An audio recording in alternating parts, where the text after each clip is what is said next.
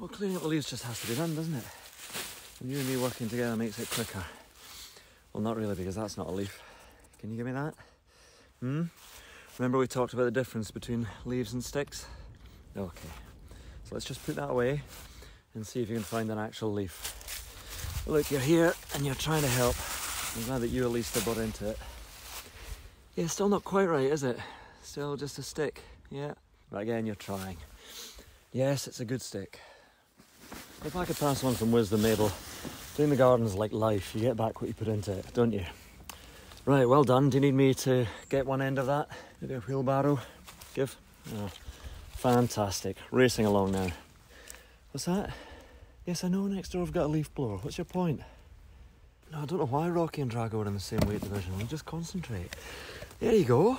Hey, getting the hang of it now. You've contributed. Contributed one apple. You get another one? Okay, that's a bit of a step backwards, but that's fine. You're here and you're doing it. Because you know what? You could have taken the easy path. The one that she's taken, the one of no work and all play. Well, sure, fun in the short term. Aren't you glad you've done the right thing and that you've discovered that honest toil brings its own reward and hours of hard work? I'm not so much angry as disappointed. There's more to life than this, you know. Fine, whatever.